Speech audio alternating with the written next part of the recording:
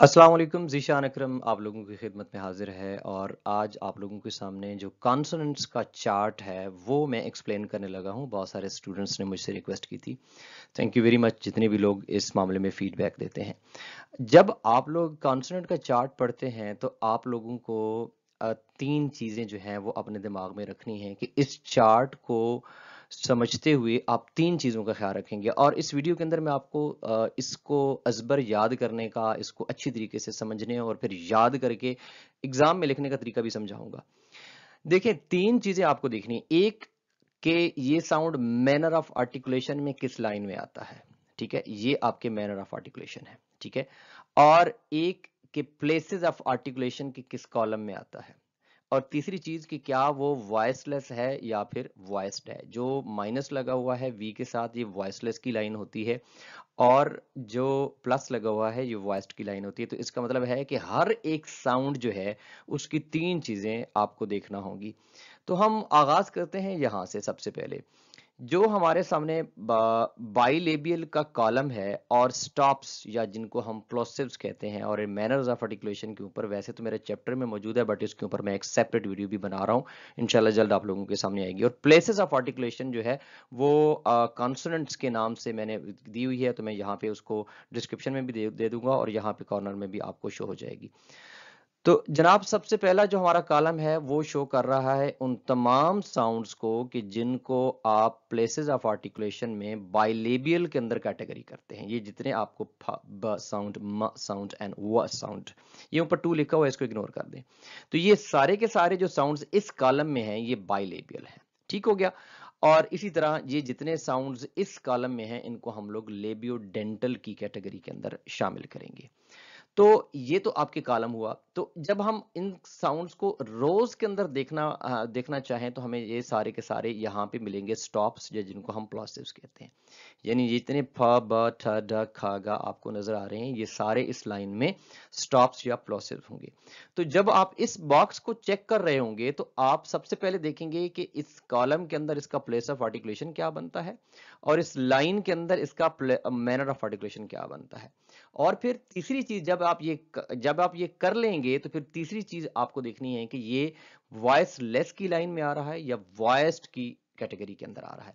तो लेट से हमें फास्ट साउंड को आ, अच्छा इसमें दो बातें हो सकती हैं। एक कि आपके सामने टेबल ये पड़ा है और आपको इसको समझना है और पढ़ना है या किसी को समझाना है, एक एस्पेक्ट ये हो सकता है। जैसे मैं आपको अभी समझा रहा हूँ। दूसरा एस्पेक्ट ये भी हो सकता है और जो मैंने आपको शुरू में बताया था कि मैं आपको एक तरीकाकार बताऊँगा इसको अच्छे तरीके से याद करने का, वो ये है कि आप ये सबसे पहले लेबल्स लगा लें और ये आपके प्लेस ऑफ़ आर्टिकुलेशन का लेबल लगा लें और इधर आप लगा लें मैनर्स ऑफ़ आर्टिकुलेशन के। और इधर माइनस यानी वी और प्लस वी आप लगा लें।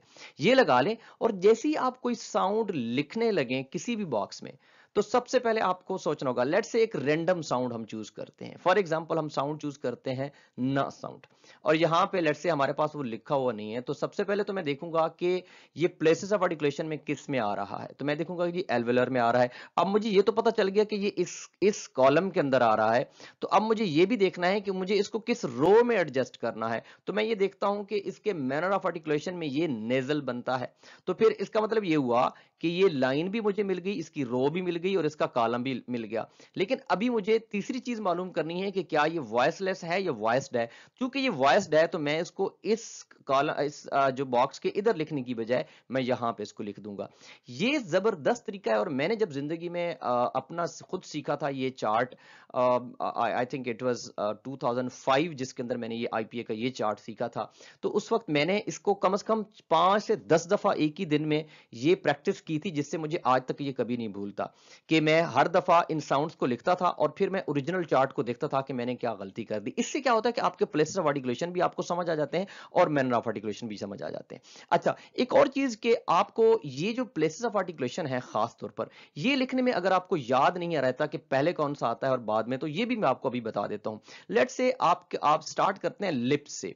आपके जो लिप्स हैं, सबसे पहले दो लिप्स मिलते हैं तो वहाँ से साउंड बाइलेबल स्टार्ट होता है। फिर लिप से थोड़ा सा पीछे आते हैं तो आपके दांत अपर टीथ और आपका लोअर लिप इन्वॉल्व हो जाता है। फिर जब आगे बढ़ते हैं तो आपके लिप्स की रोल अब खत्म हो गया और टीथ आ गए। टीथ से आप वापस आते हैं तो आपके टीथ से ऊपर एल्वेलर रिज और टिप ऑफ़ द टंग जो है, वो आपका एल्वेलर में आ जाती है।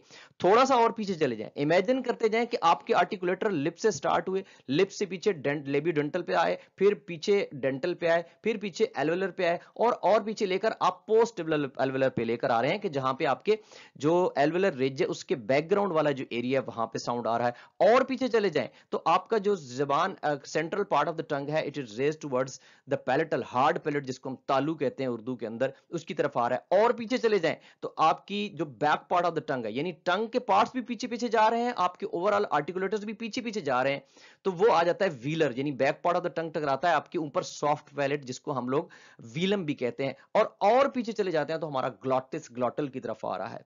तो अगर आप यूँ कर लें, यहाँ से नहीं करते तो आप ग्लॉटल से शुरू कर दें और आगे बढ़ना शुरू कर दें, जी व्हीलम पे आ गया फिर पैलेटल पे आ गए फिर प्लेटो एल्वेलर पे आ गए फिर एल्वेलर पे आ गए फिर डेंटल पे आ गए तो ये आपकी, ये आपके लिए याद करना मुश्किल नहीं है। आप बड़ी आसानी से अपने आर्टिकुलेटर्स को देखकर याद कर सकते हैं कि आपके आर्टिकुलेटर्स कैसे हैं। अच्छा ये तो था कि आपने ये लिख लिया। ये इसका कोई ऐसा तरीका नहीं है कि जो मैं आपको इस तरीके से समझा सकूँ कि कैसे, यानी कि जिस तरीके से हम लोग ये कर रहे थे। एनी हाउ अब हम इस चार्ट को थोड़ा सा समझने की भी कोशिश करते हैं कि अब ये फास्ट साउंड है तो फास्ट साउंड ये बता रहा है कि ये बाइलेबियल है, यानी कि दोनों लिप्स के जो आपस में मिलकर जब साउंड को प्रोड्यूस करते हैं और इसका जो मैनर है, वो स्टॉप है। अभी मैं याद रखें कि मैं प्लेसेस और मैनर्स को डिस्कस इसलिए नहीं कर रहा कि इनके ऊपर अलग से एक वीडियो बनानी है और एक की बन चुकी है प्लेसेस की और मैनर्स की बनानी है तो बहुत वीडियो लंबी हो जाती है।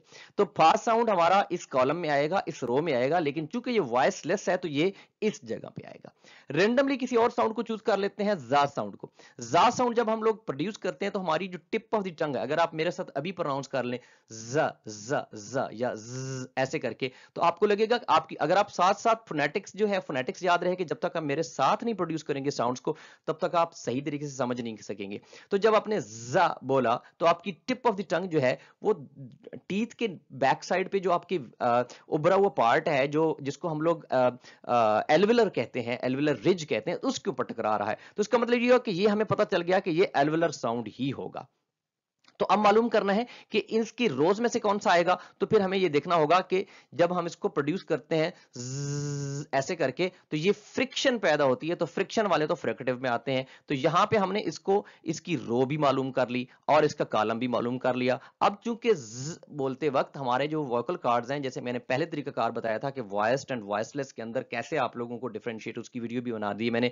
मेरी प्लेलिस्ट जो फोनेटिक्स की प्लेलिस्ट है, उसके अंदर ये अलग से वीडियो मौजूद है वॉयस्ड एंड वॉयसलेस वाली।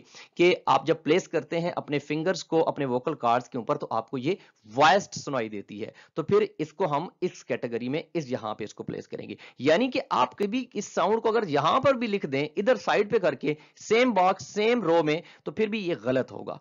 इसी तरह रेंडमली हम एक और साउंड की तरफ़ आते हैं और ये साउंड है हमारा, ये जो आपको नज़र आ रहा है, ये करके साउंड है, जैसे ब्रिंग के अंदर आता है साउंड है, ठीक है?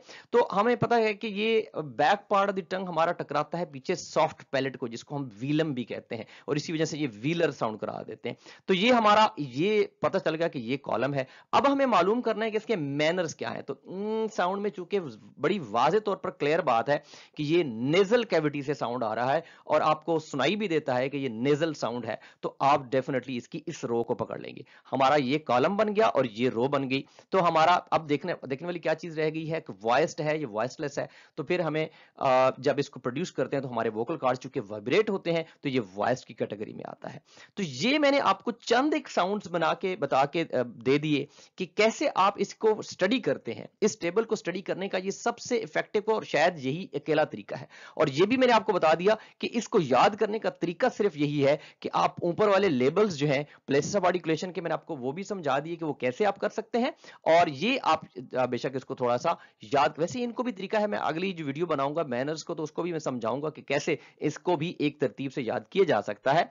तो ये जब आप कर लेंगे और साथ आपको पता है कि लेफ़्ट पे माइनस आएगा और राइट पे आपका प्लस आएगा तो फिर एक एक साउंड को उसके प्लेस ऑफ़ आर्टिकुलेशन को सबसे पहले ढूंढो क्योंकि वो आसान होता है। ये कॉलम जब ढूंढ लेंगे आप तो फिर आपको मैनर ऑफ़ आर्टिकुलेशन ढूंढ लेंगे। जब मैनर ऑफ़ आर्टिकुलेशन मिल जाएगा तो आपको बॉक्स वाजे हो जाएगा तो फिर सिर्फ़ ये देखना है कि वॉइसलेस है तो इस लाइन में और वॉइस है तो इस लाइन में। उम्मीद है कि आपको इसकी थोड़ी बहुत अंडरस्टैंडिंग जो है क्लियर हो जाएगी। और फोनेटिक्स रिलेटेड अगर आपको कोई भी क्वेश्चन हो, कोई भी किसी किस्म का you can always contact me zero three hundred seven double nine five nine five two पे मैं इसलिए कॉन्टेक्ट देता हूँ कि सारे लोग आसानी से मुझे फॉलो कर सकें। थैंक यू वेरी मच अल्लाह हाफिज़।